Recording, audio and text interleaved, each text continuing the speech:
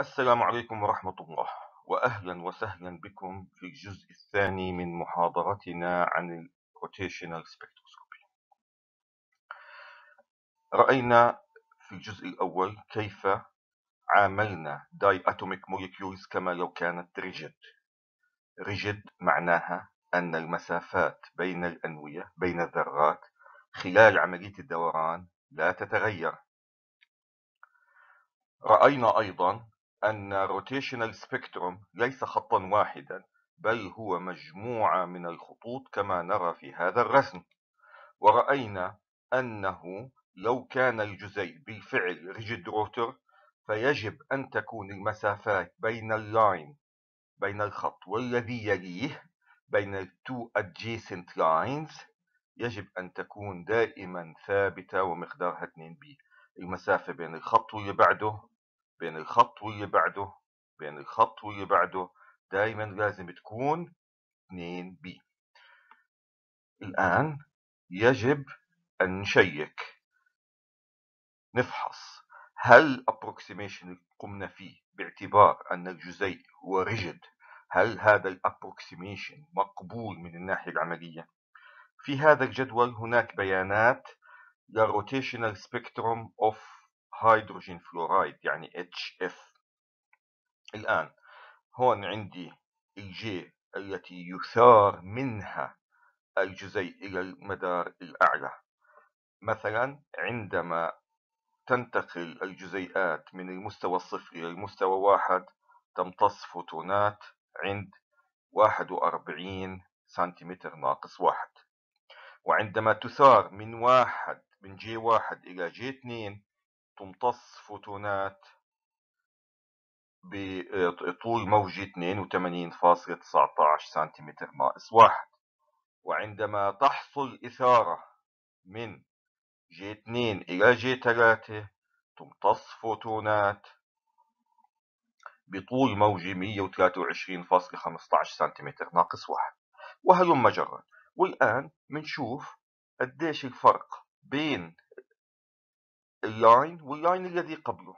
يعني قديش الفرق بين 82 و 41 الفرق بين هدول ال two adjacent lines 41.11 طيب بين 123 و 82 40.96 من الفرق بين 164 و 123 40.85 وامشي وهلم جرا بالأخير ما هو الفرق بين هذا اللاين عند 498 و 441 الفرق 37.8 ماذا تلاحظ؟ الفرق بين two adjacent lines ليس constant كما يقتضي نموذج ال rigid rotor بل إن الفرق بين two adjacent lines يتناقص كلما كبرت j. وهذا ينعكس على قيمة b. لأنه B حسب ال rigid rotor approximation هي نص delta nu عند J صغيرة أعطتني قيمة ل B 20.56 وعند قيم J كبيرة نزلت ل 18.9 ماذا نفهم من ذلك؟ نفهم أن ال rigid rotor approximation ليس دقيقا ليس كافيا لوصف الحقيقة حقيقة الجزيئات ماذا يعني أن يكون الجزيء rigid؟ الجزيء rigid معناته هي ذرتين موصولين مع بعض برود من الحديد مثلا لا يطول ولا يقصر. لكن إحنا بنعرف إنه الجزيئات بتعمل vibration ماذا يعني vibration vibration تكلمنا عن ذلك. هاي ال vibration كما لو كان تربط بين الذرتين تربط بين الذرتين زنبركات وفي ال vibration تنضغط هذه الزنبركات وتمط. إذا الوصف الأقرب للجزيء ليس أن يكون rigid بل أن يكون non-rigid بسبب أن الزنبرك يطول ويقصر فتتغير الأطوال في الحركة الاهتزازية ولكن يمكن أيضا أن تتحرك الأطوال في الحركة الدورانية.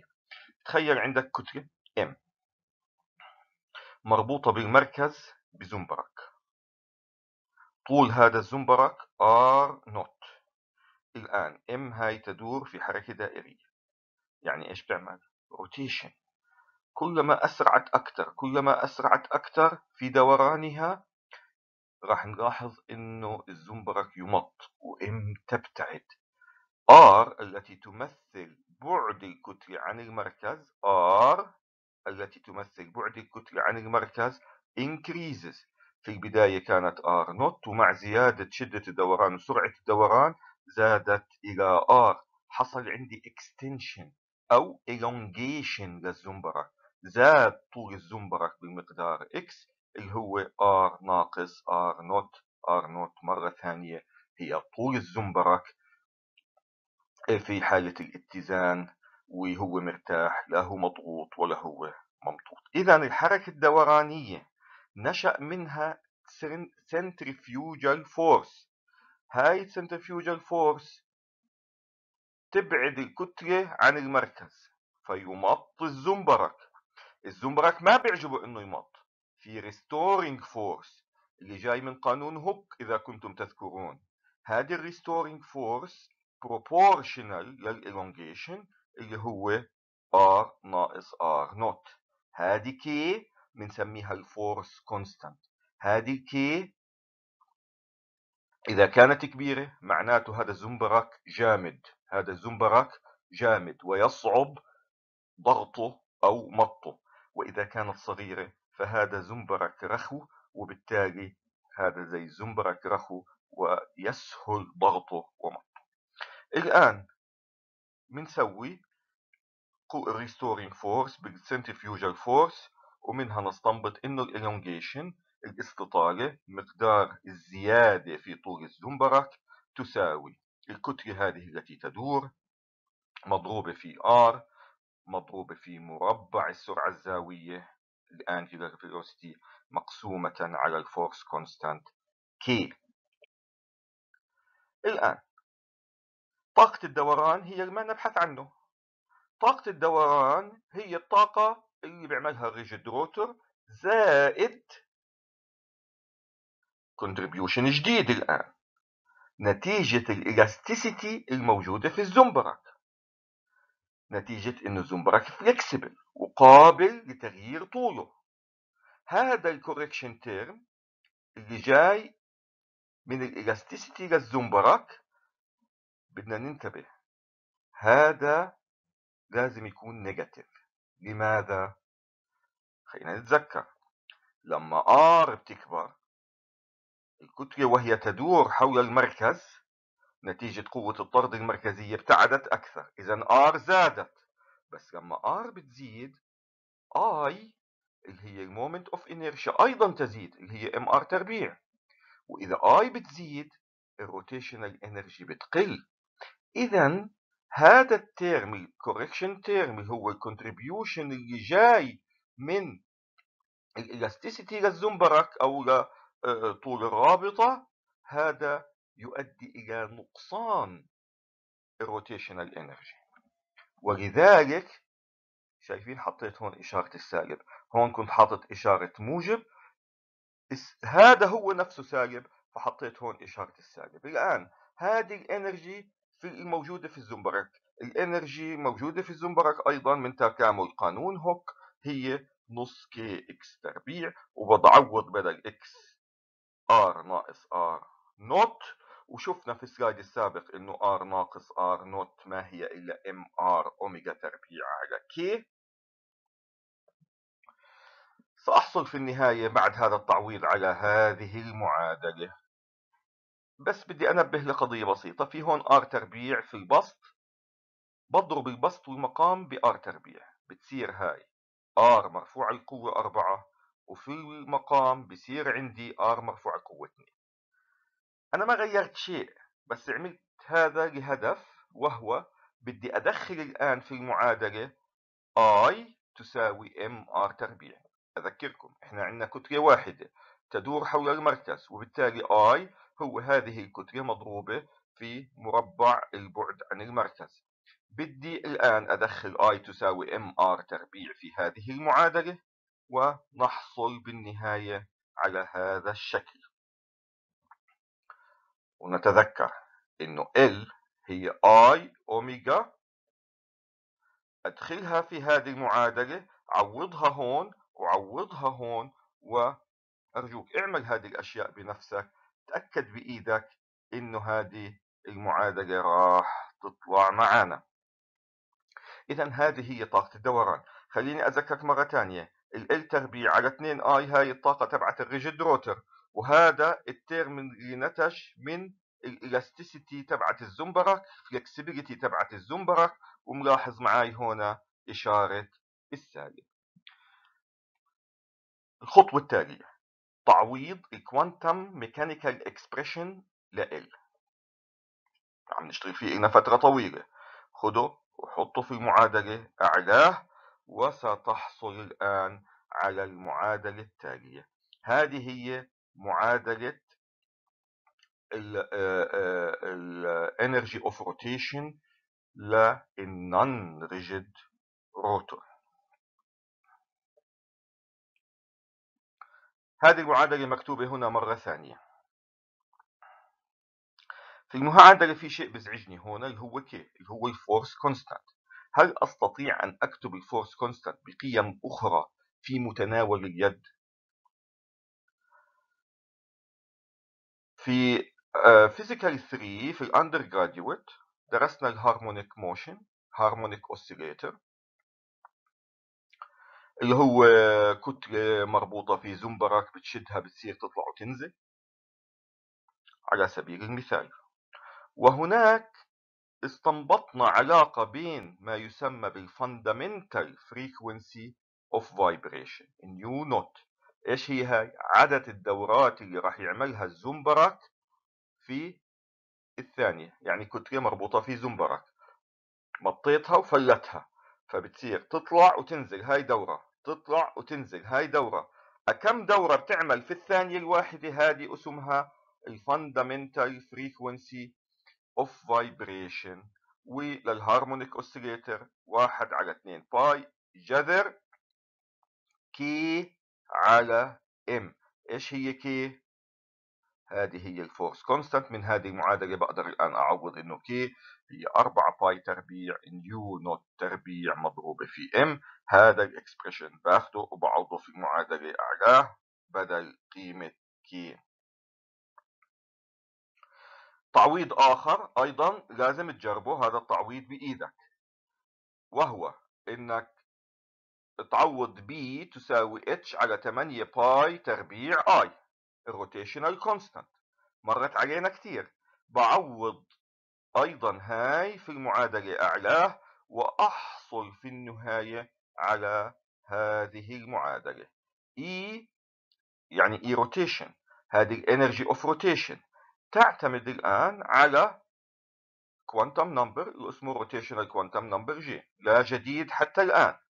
هذا ال term الأول هذا ال term الأول هو اللي حصلنا عليه في معالجة ال rigid rotor وهذا ال term الثاني اللي جاي من آه، ال flexibility أو ال elasticity تبعت ال bond. يعني في المقام لازم أكتب nu naught اللي هي هاي ال frequency بدي أنبهكم لشغلة في ال spectroscopy في ال rotational spectroscopy vibrational spectroscopy على وجه الخصوص. بحبوا ما يتعاملوا مع ال energy بوحدة الجول. يعني لما يجي يقول ال state J تساوي صفر الطاقة تبعتها تساوي كذا جول. ما بحبوا يشتغلوا بالجول. وإنما يحبوا يعطوا ال energy the energy of the molecular state is given in second ناقص واحد أو سنتيمتر ناقص واحد. زي تشبه القضية كيف تقول هذا الجسم وزنه 10 كيلو. 10 كيلو جرام الكيلو جرام ليست وحدة وزن. الكيلو جرام وحدة كتلة لكن بقدر أقول هذا الجسم وزنه 10 كيلو جرام بقول لك خلاص اضربها بجي اضربها ب 10 متر لكل ثانية تربيع بتقدر تعرف وزنه. وهون نفس الإشي. بقول هذا الجزيء في هذا المستوى طاقته كذا وكذا second ناقص واحد. تيجي بتقول لي second ناقص واحد ليست وحدة طاقة. بقول لك ما عليك بس أضربها ب اتش بس أضربها ب اتش راح تعطيك طاقة هذا الجزيء بالجول إحنا اذا بنشتغل هذه هي الطاقة ولكن بوحدة ليست بالجول وإنما ب second ناقص واحد أو سنتيمتر ناقص واحد بسموه spectro spectroscopic term هون لل rotational spectroscopy بدي أعطيه الرمز F. إيش هو هذا ال spectroscopic term هو إنك تجيب ال energy لل J level وتقسمها على اتش فراح يعطيك ال energy لهذه ال J state ولكن بوحدة second ناقص واحد. زي ما تقول أنا الوزن 10 كيلو جرام والحقيقة هو مش الوحدة الوزن المعتبرة. بدك تيجي الآن على المعادلة هاي وتقسمها كلها على اتش مشان تعطيك تعطيني الطاقة as a term F. F of J. أسهل بقلل من من ال symbols الموجودة عندي في المعادلة بهاي الطريقة. إذا طاقة ال system أو طاقة الجزيئات في ال level J طاقة الجزيئات في ال level J بوحدة second minus 1 معطاة بهذه المعادلة. بعد ما قسمت المعادلة الفوقانية كلها على اتش طيب بيجي واحد بيقول أنا بحب أتعامل أكثر بسنتيمتر ناقص واحد بنقول له ما عندنا مشكلة. اقسم على اتش سي اقسم على اتش سي لما يقسم على hc بدل B بتصير B bar وبدل ال nu هون بتصير nu bar وبهذه الطريقة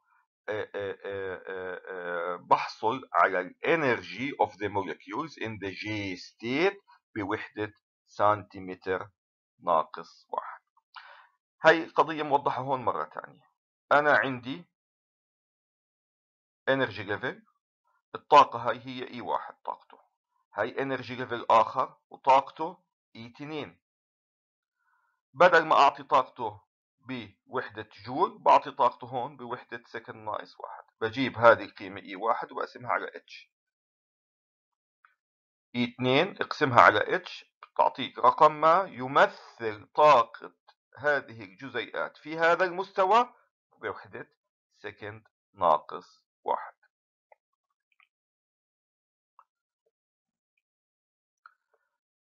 هذه المعادلة الأخيرة مكتوبة هنا مرة ثانية والآن بعرف ال centrifugal distortion constant D أربعة B تكعيب على nu naught تربيع اللي هي هاي.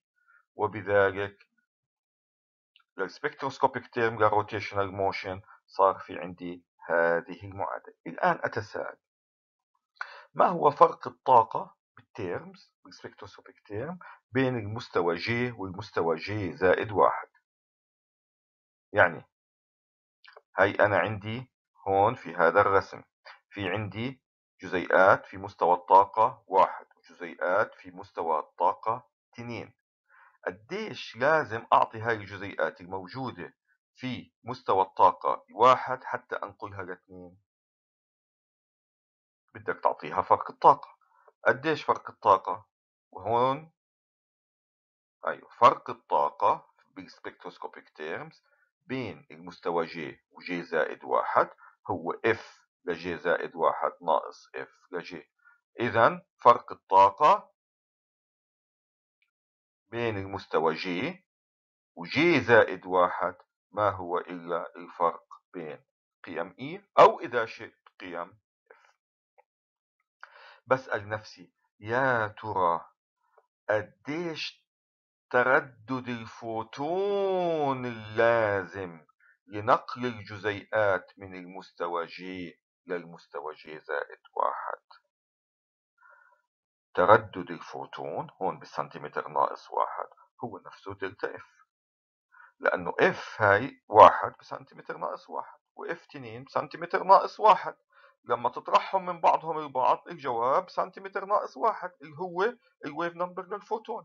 إذا تردد الفوتون اللازم لإثارة الجزيئات من مستوى J إلى مستوى J زائد واحد هو الفرق في ال F بدي إياك أنت تيجي تعملها الان تاخذ F ل J زائد واحد و F ل J تطرحهم من بعض وتتأكد من هذه المعادلة اللي أنا عملتها. طاقة الفوتون اللازم لنقل جزيئات من J إلى J زائد واحد تساوي 2 B في J زائد واحد ناقص 4 D في J زائد واحد تكعيب.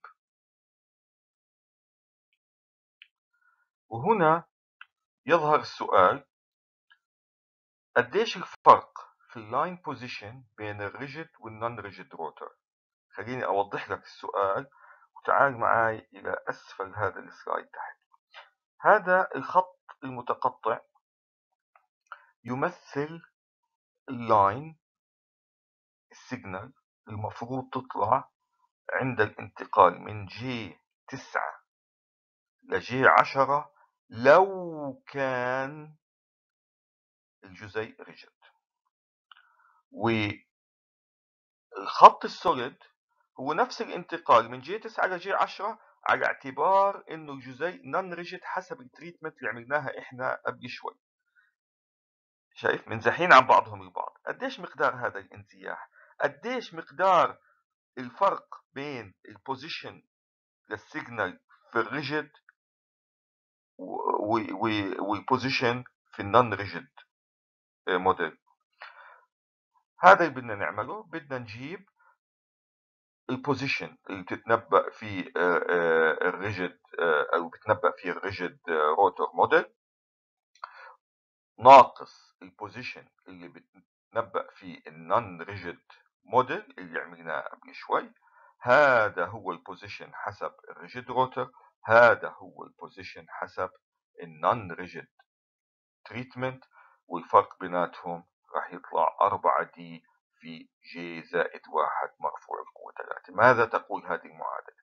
أنه كل ما كبرت J زاد الفرق المتوقع بين ال signal التي يتنبأ بها ال non-rigid model وال signal التي يتنبأ بها ال rigid model شوف مثلا عوض J تساوي صفر. عند J تساوي صفر راح يصير صفر زائد واحد واحد تكعيب واحد. أربعة دي دي بالعادة قيمتها صغيرة جدا. إذا الفرق بين signal عند جي صغيرة شايف هون؟ لا يكاد يرى صغير جدا جدا جدا. لكن عند جي تساوي تسعة. عوض. تسعة زائد واحد عشرة. عشرة مرفوع القوة ثلاثة. ألف صار أربعة آلاف دي أربعة آلاف دي تعاظم الفرق بين القيمة اللي أعطاني إياها. non rigid treatment والقيمة كانت متنبأ بها. لو كان الجزيء rigid ولهذا هي ملاحظينه هذا في الرسم. كل ما تطلع بجي الفرق بين ال solid line اللي هو ال non rigid وال broken line اللي هو rigid عم بيكبر. كل ما أطلع لفوق لقيم جي أكبر يتعاظم الفرق. وهذا هو الفرق بين ال two lines بيعتمد على قيمة جي مرفوع زائد واحد مرفوع للقوة ثلاثة.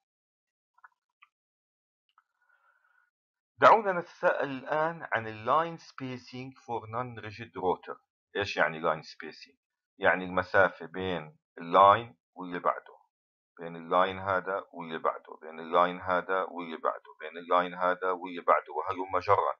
من مثال ال HF إحنا شفنا كل ما جي كانت تزيد كان الفرق بين أو المسافة بين ال line وال line اللي بعده تصغر.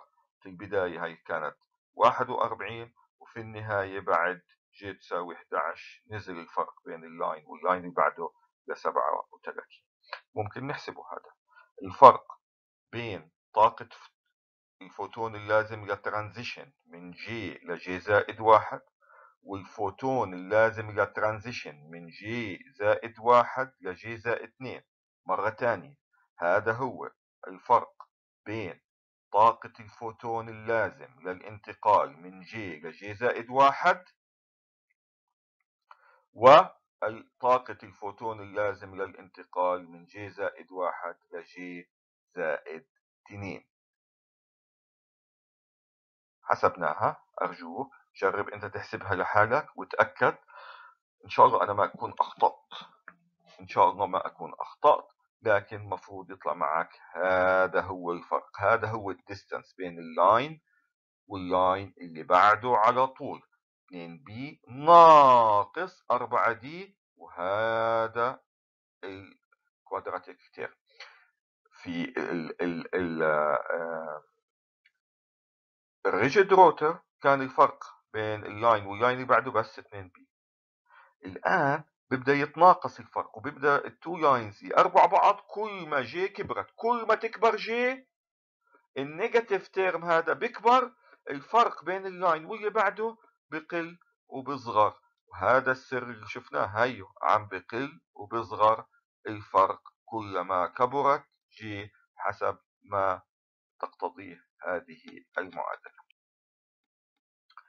بدي أنبه ل أيضا قضايا يجب أن, أن, أن, أن نأخذها دائما بالحسبان وهو أن نتأمل المعادلات ونفهم ماذا تريد هذه المعادلات أن تقول لنا.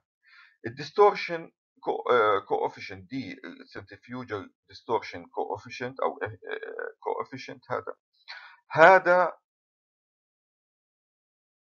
أربعة بي تكعيب على nu naught تربيع.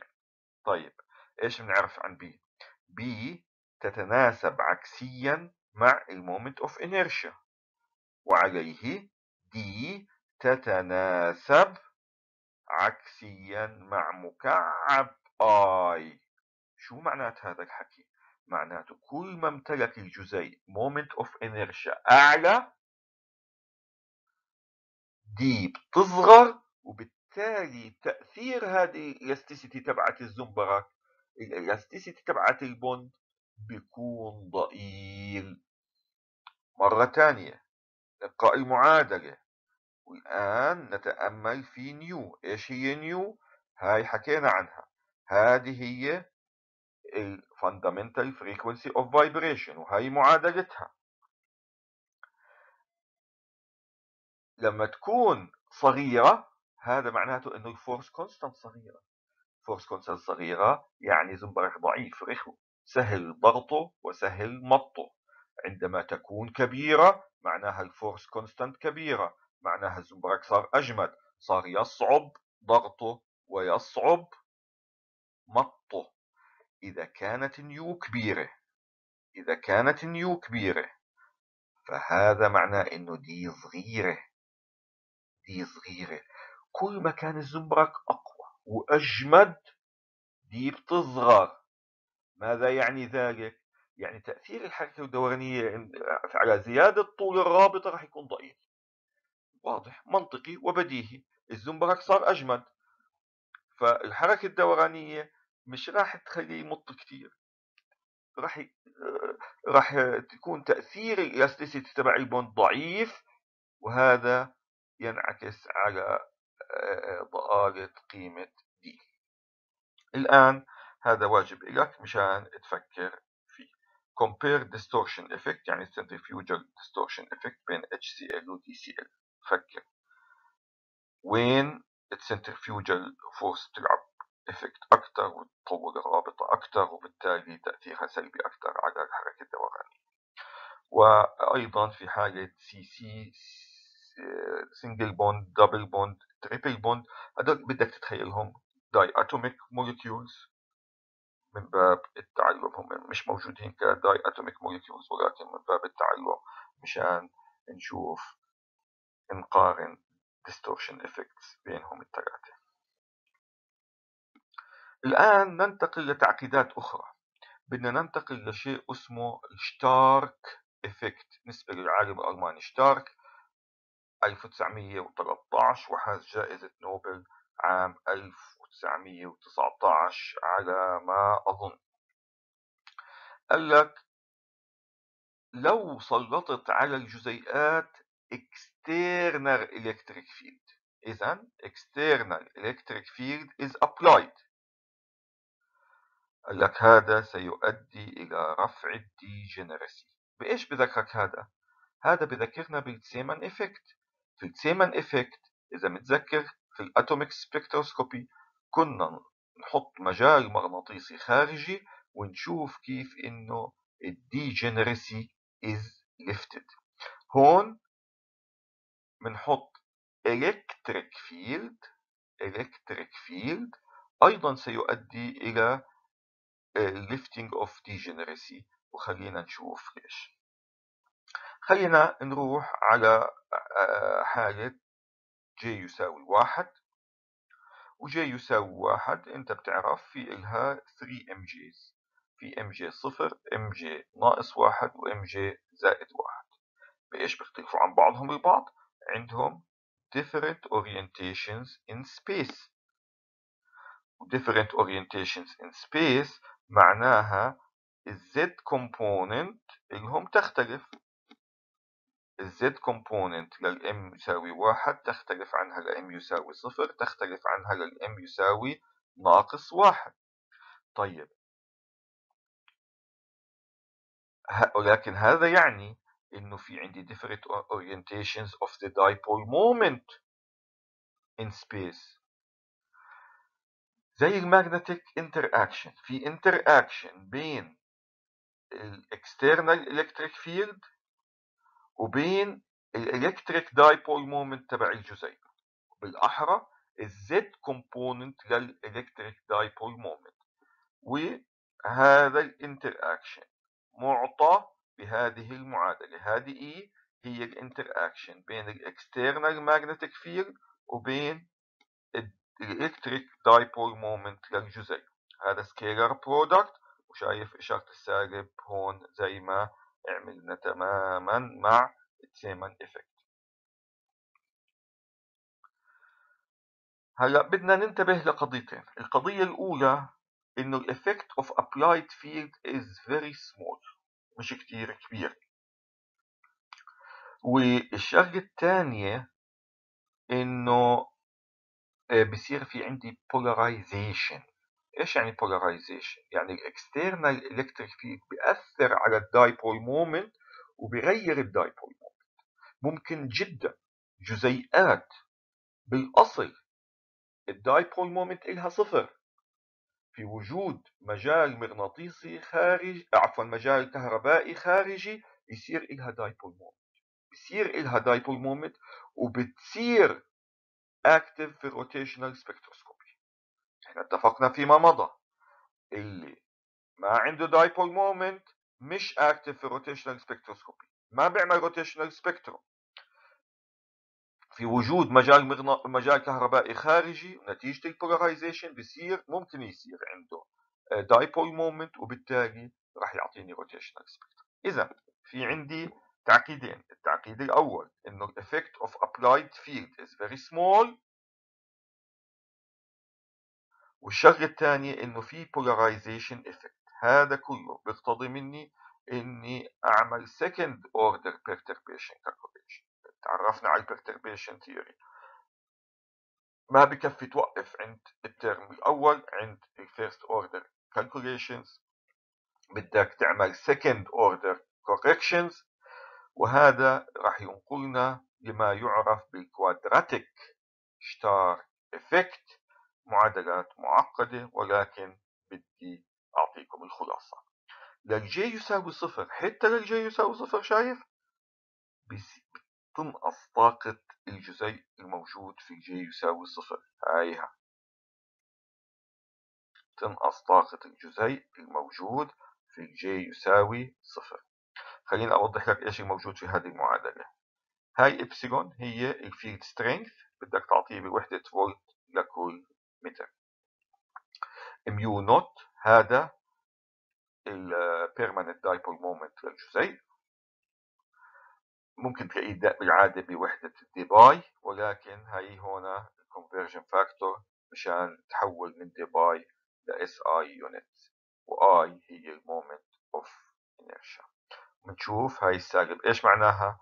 راح تنزل الطاقة. هاي الدلتا هي مقدار ال shift الذي يحصل مقدار ال shift الذي يحصل في مستوى الطاقة مقارنة فيما لو آه، ما كان ال electric field الخارجي موجود. طيب ل J لا تساوي صفر في هذه المعادلة. وهذه المعادلة بدخل فيها قيمة ج وبدخل فيها قيمة m اللي هي mj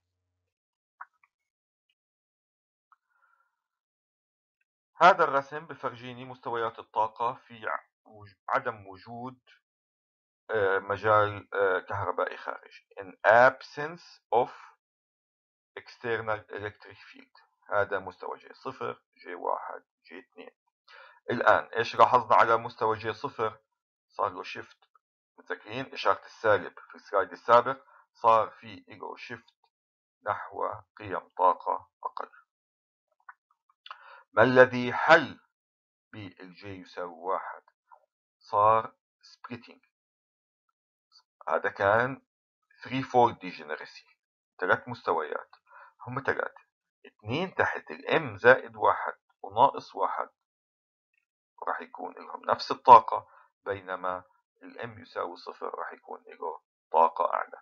في المعادلة السابقة بدك تعوض J تساوي واحد و M مرة تعوض صفر ومرة تعوضها زائد واحد ومرة تعوضها ناقص واحد وهذا بفرجيك ال splitting أو lifting of degeneracy لل J تساوي اثنين. بدي أنبهك لقضية طرقنا لها في المحاضرة الأولى. آخر إشي كان في عن selection rule إنه دلتا M يساوي صفر. في غياب مجال كهربائي خارجي هاي selection rule بالعادة مش مهمة. ما بنحتاجها. ولكن بسبب lifting of degeneracy in presence of external electric field بصير مهم. خلينا نشوف إيش ال transitions المسموحة مسموح دلتا M يساوي صفر. مسموح ينتقل من هون لهون. بس مش مسموح ينتقل من هون لهون. مسموح ينتقل من هون لهون. بس مش من هون لهون أو من هون لهون. مسموح ينتقل من هون لهون بس مش من هون لهون أو لهون أو لهون فوق فوق. واضح؟ بتصير هذه ال selection rule مهمة. ال Stark effect له تطبيقات عملية. من قياس ال shift اللي بيصير بقدر يحسب ال dipole moment لو رجعنا للمعادلة ال dipole moment موجود فيها اعتبره مجهول. دلتا هي القيمة التي تحددها بالتجربة كل شيء آخر معروف عندك وبالتالي تستطيع أن تحدد ال dipole moment لل molecule. هذا exercise تمرين إلكم. وأشياء بتاخد وقت فبدكم تطولوا بالكم وهيك الواحد بتعلم. Calculate the spectral line position. For the rotational transition in N2O للترانزيشن من جي صفر لجي واحد ومن جي واحد لجي اثنين in absence of external electric field and in presence of external electric field إذا بدك تحسب للانتقال لل N2O الانتقال من J صفر ل J واحد ومن J واحد ل J اثنين في عدم وجود حقل كهربائي خارجي وبدك تحسب في وجود حقل كهربائي خارجي شدته 1000 فولت لكل سنتيمتر. انتبه سنتيمتر هاي مش متر. وبدك تشوف وين مفروض تشوف lines في وجود external electric field و in absence of external electric field. بقول لك assume rigid rotor بده يريحك. assume rigid rotor.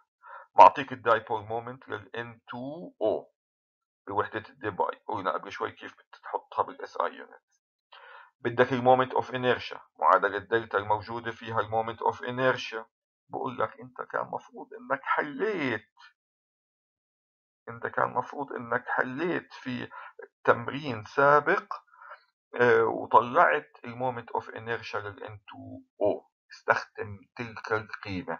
ما قدرت أو ما حليت صح أو ما حليت مظبوط تقدر تروح على النت بسهولة وتجيب هذه القيمة من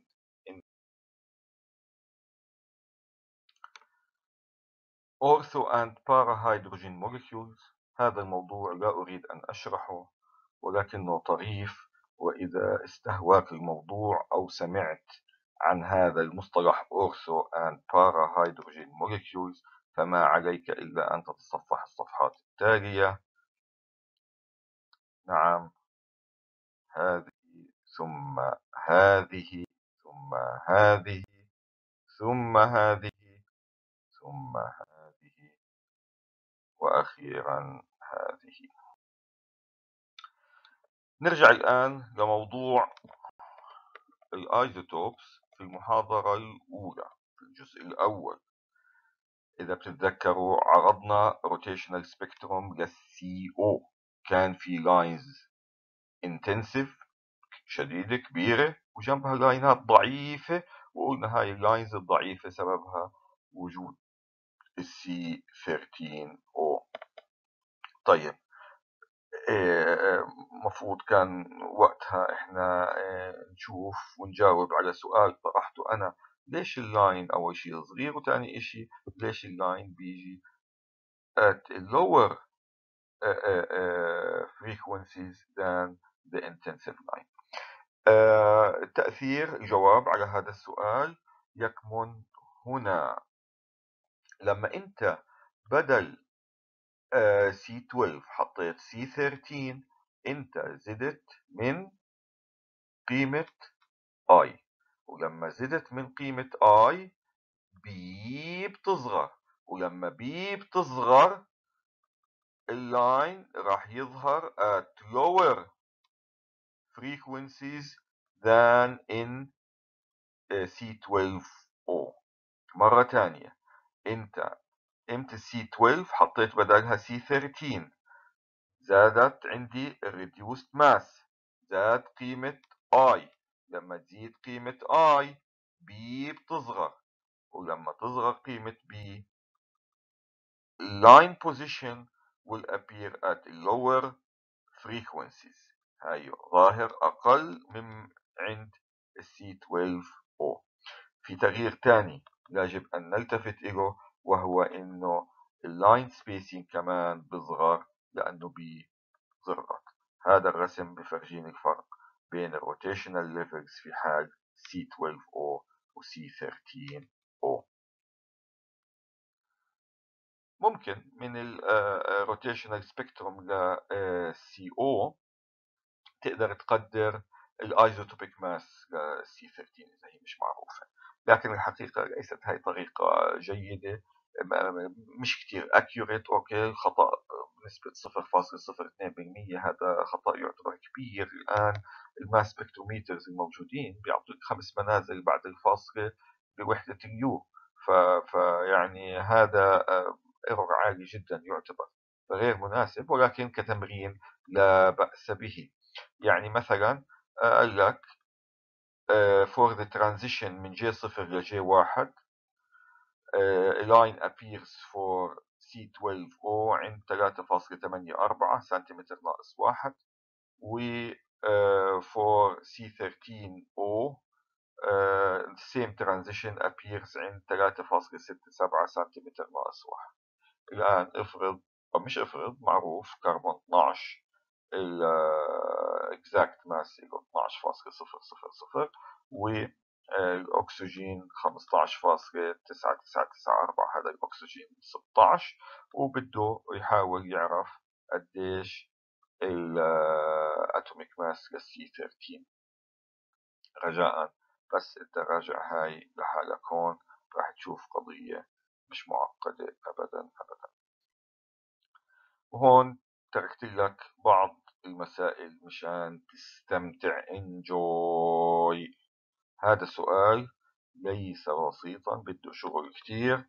يعني هو بسيط ولكن بده شغل. هلأ هذا إحنا مش diatomic هذا في أربع ذرات لكن هذا الجزيء linear وبما إنه هذا الجزيء linear إحنا شفنا في محاضراتنا diatomic و triatomic وقد ما بدك ال linear كلهم نفس الشيء لأنه عندهم 2 degrees of freedom ال axes اللي بتمر فيهم حول ال energy of rotation حواليهم صفر. ولذلك آه، ممكن نعالجه بنفس القوانين اللي استنبطناها في المحاضرتين هذول. لكن بنبهك بدي سهل عليك بدك تعتبره rigid rotor هنا أيضا سؤال ثاني مشان تتسلى عليه.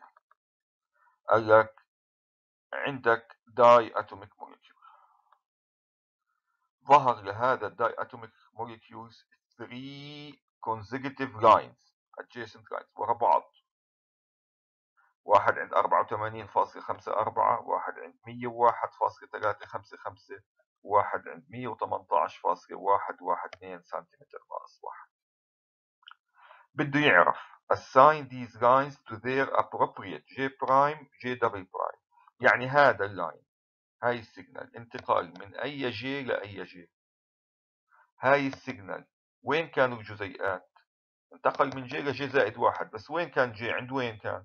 وهون من أي J انتقل لأي J إذا assign these lines to their appropriate J prime to J double prime transitions. And deduce the values of B and D. آه هذا مش rigid هذا non rigid deduce the values of B and D. بعد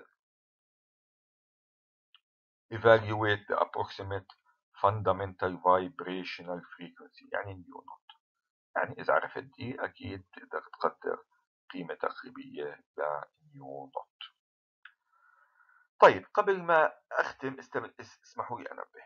إحنا في المحاضرتين الفائتتين ركزنا على ال diatomic. triatomic الحقيقة القوانين اللي استنبطناها تستطيع استخدامها لأي linear molecule نيجي على الآن على فئة ثانية من الجزيئات. مش linear هذولا لكن spherical. عندهم symmetry عالية.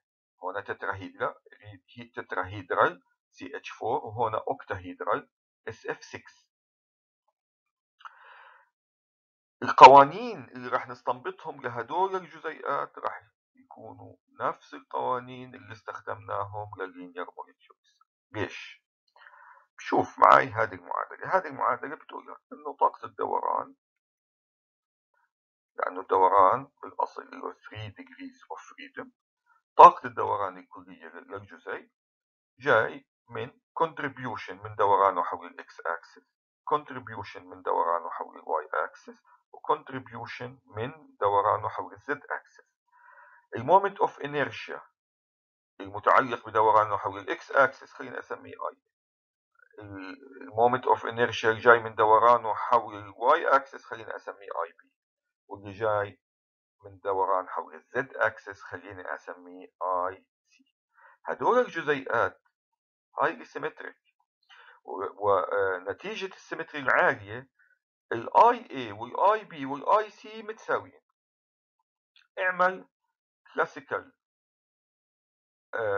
treatment لل rotation ومن ثم أدخل قيمة L تساوي جذر ال J في J زائد واحد اتش على 2 pi وراح تحصل في النهاية على نفس القوانين اللي كنا نستخدمها لل linear نيجي الآن على طائفة ثالثة من الجزيئات. هاي بدنا نسميها symmetric rotor. هاي زي جزيء NH3 ال moment of inertia اللي جاي من دورانه على أحد المحاور X مثلا يختلف عن ال moment of inertia الناتج عن دورانه على المحورين الآخرين. هون مثلا IB و IC متساويين لكن بيختلفوا عن IA هدول ال symmetric rotors نوعين نوع بنسميه cigar shaped زي شكل السيجار هلا دوران حول A هو ال axis of highest symmetry اللي بنسميه كمان principal axis it is the axis of highest symmetry. هذا ال moment of inertia المتعلقة فيه بنسميها IA أصغر كثير من ال moment inertia المتعلقة من دوران حول محور B يعني مثلا B بده يكون هون وبدك تتخيل هذا السيجار بيطلع من الصفحة وبرجع خلف الصفحة وبيطلع. هذا له moment of inertia أعلى كثير من IA هذا ال cigar shaped ولهم نوع آخر بنسميه oblate أو frisbee shaped آه هاي ال principal axis هذا ال axis of high symmetry وين B ممكن تكون مثلا هي هيك عمودية. على A؟ بقلب ال frisbee آه برا الصفحة وبضل يلف لجوا برا لجوا برا لجوا. ال moment of inertia المتعلقة في هذه الحركة لما يقلب من برا لجوا أصغر من إنه يدور حول المحور A المهم في ال symmetric rotors two moment of inertia بيكونوا متساويين واحد مختلف. بديش أدخل في التفاصيل بس اطلع عليها شغلة بسيطة آه، مش معقدة أبدا. بعمل classical treatment ومن ثم آه، بدخل ال quantum mechanical treatment على جميع الأحوال بدناش نخوض في التفاصيل بس بدي أنبهك للشكل النهائي. الشكل النهائي في two rotational constants B و A. ليش في two rotational constants؟ لأنه في قيمتين مختلفين لل moment of inertia واحدة من دوران حول محور A والثانية من الدوران حول المحور B أو C لأنه IB و IC هدول الاثنين متساويين. بهذا بنكون إحنا قد أنهينا محاضراتنا عن ال rotational spectroscopy أرجو أن تكونوا قد استمتعتم. يعطيكم العافية ونلتقي مع الاكسرسايزز اللي أعطيتكم